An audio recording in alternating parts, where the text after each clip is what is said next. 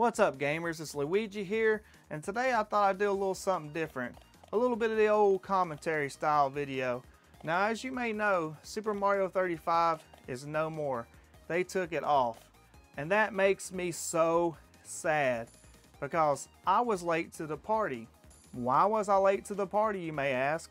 Well, when a new game comes out, I always, always expect it to be around for years and years to come. And I never expect that game to go away or to disappear whatsoever. I've been playing games since I was four years old.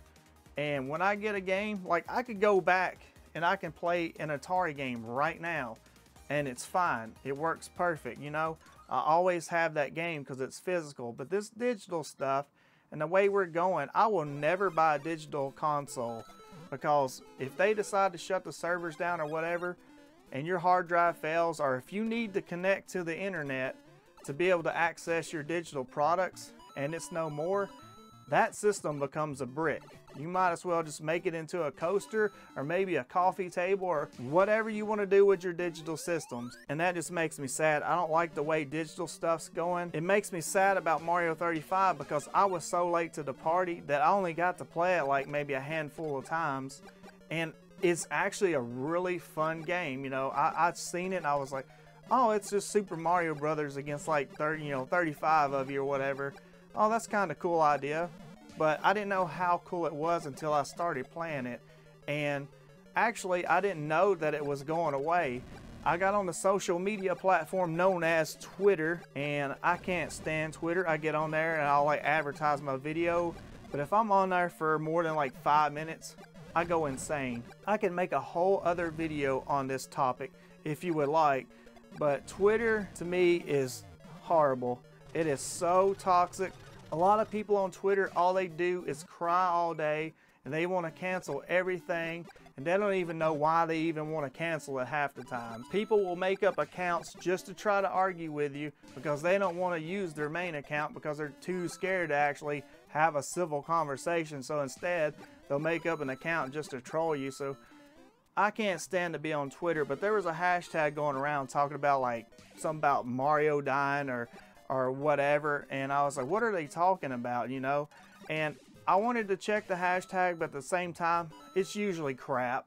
Whether it's a good thing or a bad thing, like it could be like so and so donated to charity, and it's like, oh, that's cool. And then you click on it, and then they're all like, so and so needs to be canceled because they did this 27 years ago and they're bad. They never apologized for it. I mean, Twitter is nuts. So I didn't look at the hashtag. So if I would have this time, I would have known about Mario 35. So I got to play it at the last minute within the last few days. And as a matter of fact, I got kind of a bonus day because Super Mario 35 was supposed to shut down like what, March the 31st? But when I stopped playing it, I left the game open just kind of put my system in sleep mode. So when I went to play again later, it actually let me in and other people were still playing. So I got to play it pretty much on up till they shut it down. And let me tell you, Super Mario 35 is amazing. But me personally, I'd want to see a Super Mario 3 or a Super Mario World like that. Of course, it wouldn't be 35 after all. But still, those games, in my opinion, had way better controls than Mario 1. And Mario 1, I love it. It was my first Mario game, and then later I played the Mario Brothers for Atari. But it was my first Mario game, and I love it to pieces. It's very memorable for me, but I have to say the controls to me are terrible. Mario is so sluggish and he doesn't move very fast in my opinion. And when you go to jump, you better commit to that jump, baby, because if you don't commit, you're going in the hole. Like if you try to pull Mario back, there's no pulling Mario back. It's too late. You're gone. In Mario 3 or in Mario World or something, you can kind of do one of those like, oh crap moments. Like you jump out and you're like, whoop, nope, I'm not doing that. You can pull him back. But in Mario Brothers, you gone.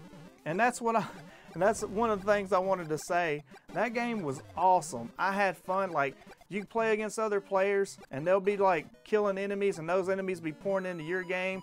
You're taking them out, they're pouring into somebody else's game. And it can be really chaotic. You don't know what level's to pop up when you finish a level. But the funniest thing is about me playing it was I beat myself more than anybody else did. Like, I would miss a jump I would fall in a hole, I would run into a Goomba, I would do some of the dumbest things. Like, all the enemies on the screen didn't even bother me that bad. It was me defeating myself over and over again. I don't know why, but that's just how it was. I just kept, I kept failing over and over. And if you don't believe me, watch this.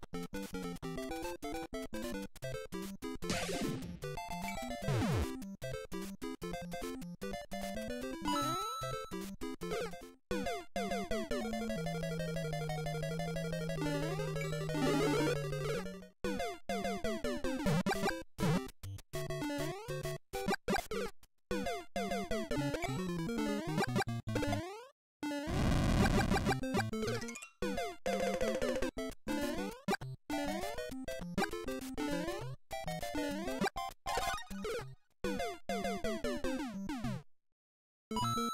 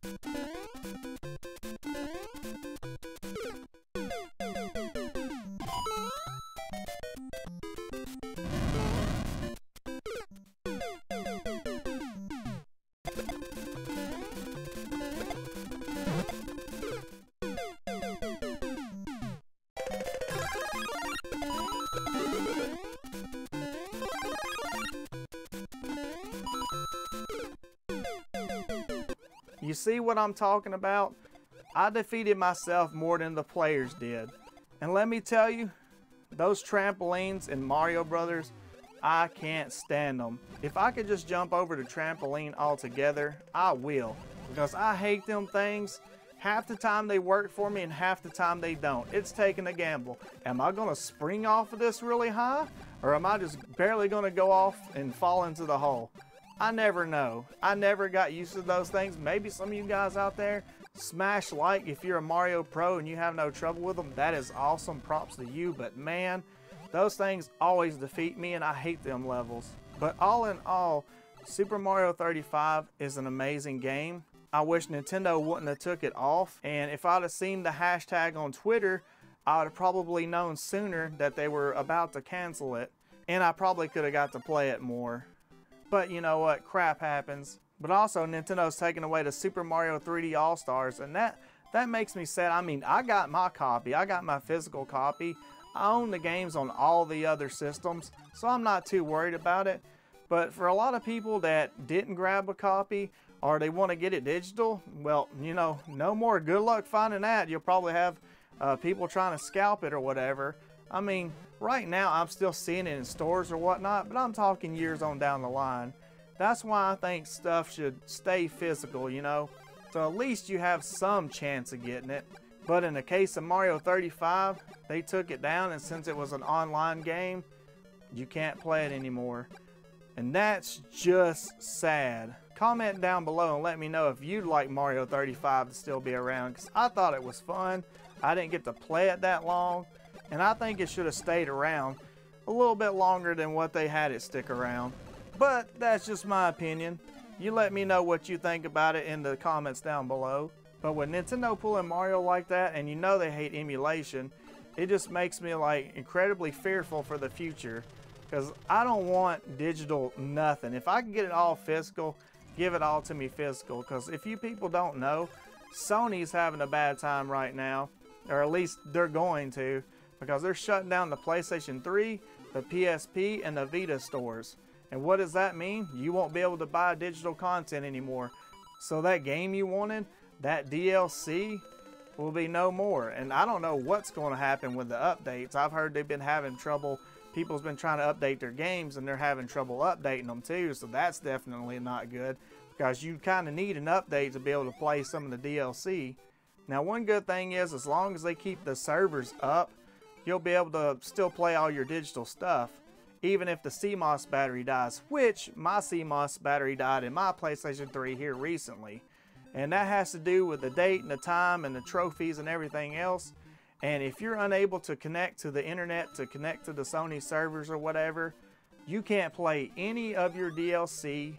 So I guess that means you have the bare bones game, there's no updates. And we all know some of these games have got to have updates because a lot of times when they first come out, they can be pretty darn glitchy. And I know these companies are against emulation and whatnot. And me personally, I like to buy my games. I like to physically own them.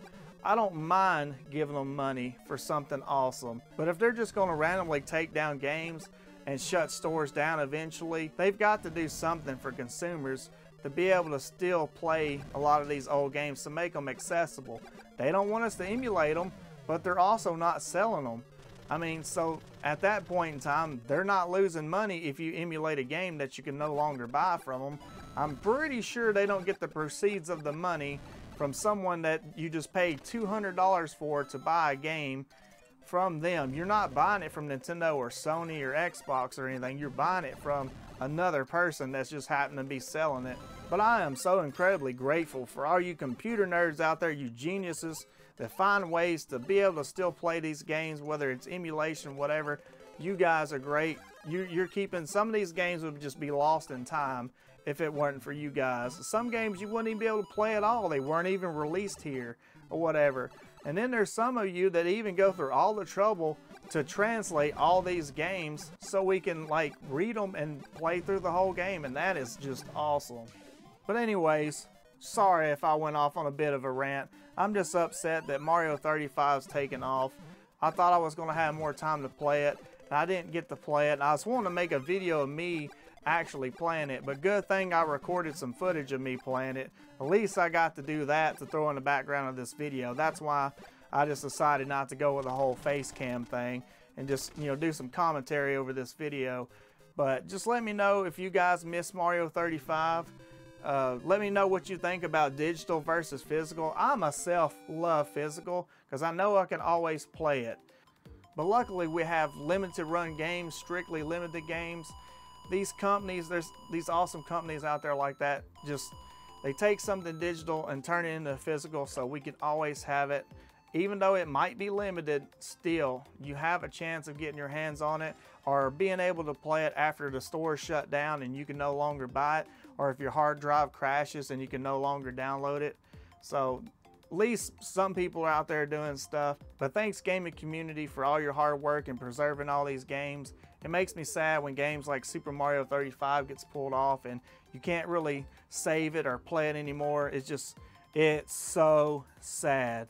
But thank you guys so much for watching. I appreciate all the love and support. Smash like, subscribe, comment, let me know your thoughts below about all this stuff. Sorry I went on a big rant, kind of a bit of a ramble, a little bit different style video, but I appreciate you and if you stuck around till the end, you are freaking awesome. And I hope you have a wonderful day. LeeWeeGee out.